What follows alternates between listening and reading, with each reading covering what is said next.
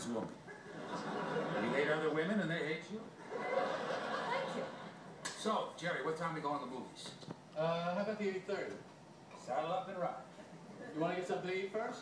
No, I'm good. Wonder if uh, Susan... No, I better just go. All right, see you.